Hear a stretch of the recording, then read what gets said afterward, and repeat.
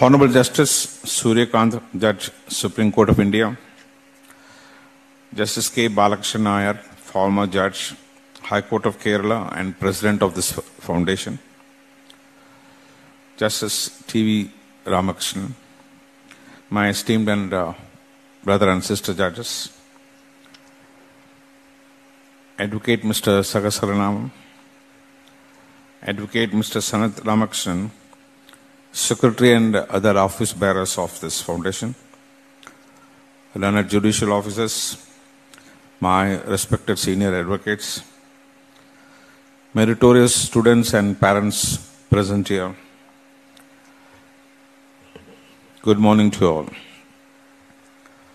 I'm thankful to Sarada Krishna Sathgamaya Foundation for Law and Justice for organizing this commemorative program as a tribute to a great judge of this country, Justice V.R. Krishna Iyer,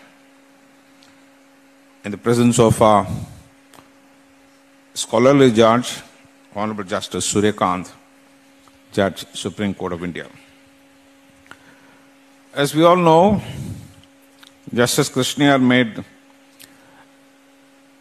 indelible imprints in the society as a dynamic lawyer, a towering humanitarian, a vibrant legislator, a stalwart jurist, an able administrator, and a committed social worker. Justice Krishna Iyer had the rare distinction of uh, holding the constitutional assignments of a minister of a state, judge of High Court, and thereafter judge of the Supreme Court of India.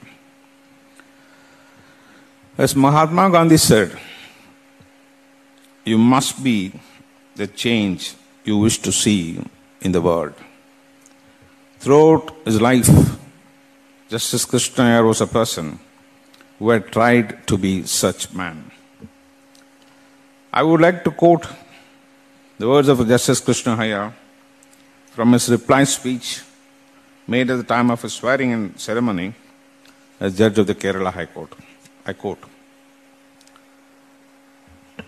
Speaking for myself, life becomes meaningful and finds fulfillment, whatever be the department of activity, if the larger cause of humanity is served, if the tries to destiny that our nation made long years ago is redeemed, and I had some patriotic role, some small contribution to make in that behalf, be it as an administrator, promoter of public cause, advocate, or judge.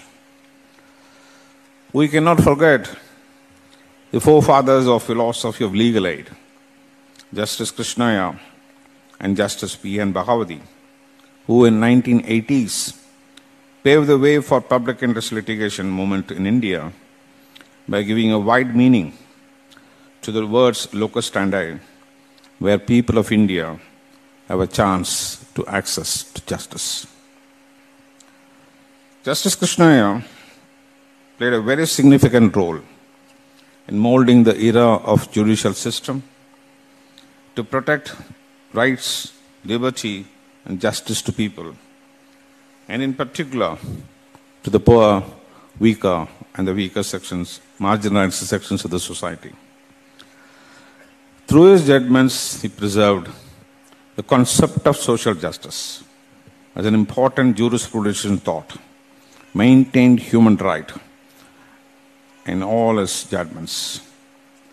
Justice O. Chinnappa Reddy, in his book, The Court and the Constitution of India, has observed thus, I quote, Great judges, of course, there were many. Of all the judges who were on the benches of the Supreme Court, Justice Krishna Iyer was undoubtedly the most creative, with a bleeding heart for the underprivileged, for the workers and the exploited, and for everyone who needed kindness and generosity. Now, coming to the topic, Enhancement in literacy, attainment of higher education, skills and vocational education have led to rapid increase in the number of persons seeking jobs commensurate with their educational qualification and skill. Though globally, Indian economy is marching to fifth place, we cannot ignore the fact that we are facing fundamental challenges to ensure that this growth translates into creation of more and better jobs for the people. Preference towards government jobs have increased tremendously owing to job security, assured salary, and prestige as associated with it. All these factors have a significant bearing on the labor market, labor force, workforce, unemployment, nature of employment, and distribution of workers over various activities. And therefore, there should be necessary and appropriate policy response for employment generation. Rapid technological advancements are taking place day by day. No doubt, this will create more job opportunities in that sphere, even though they affect the traditional jobs. Therefore, the unemployed youth of a country have to be equipped with ICT initiatives and other technical modes. Lofty ideals and constitutional goals which Justice Krishna had all along aimed, propagated throughout his lives should be achieved. And uh, in my humble view, closure of industries and factories will reduce employment opportunities. A country can progress if only labor of the nation is made integral to the development process. Production and distribution, if to be regulated by the government, there should be space and atmosphere for others for creating job opportunities.